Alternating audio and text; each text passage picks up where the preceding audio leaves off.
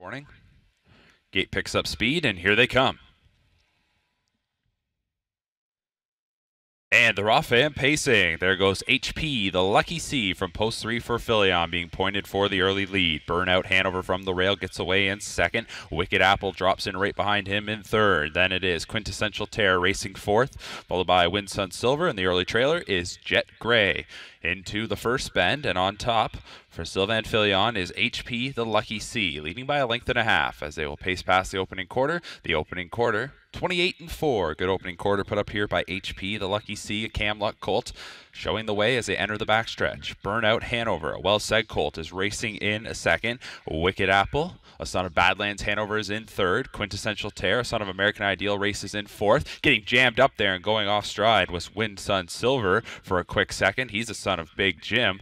And then at the back, it is the Big Jim gelding, Jet Gray. So they go to the half, and on top it's HP the Lucky C. Past the midway point in 58 and 4, 30 seconds in the second split, as HP the Lucky C carries the lead into the far turn. Burnout Hanover continues to race along in second. In third is Wicked Apple, and Wicked Apple angles out now and will take a shot as they race past 5 eighths. Quintessential Terrors in fourth, followed by Windsun Silver and Jet Gray.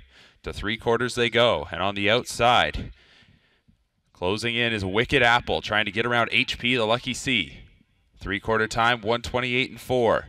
So they'll come to the top of the lane, and Wicked Apple is now the leader. Burnout Hanover got off the pylons and races up into second, and is trying to come up the inside of the leader.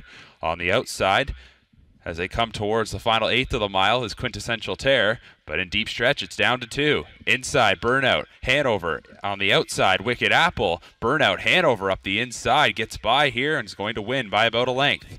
Wicked Apple was second. Tight for third, looks like it was Windsun Silver over Quintessential Tear, then it was Jet Gray and HP the Lucky C, 157 and 3.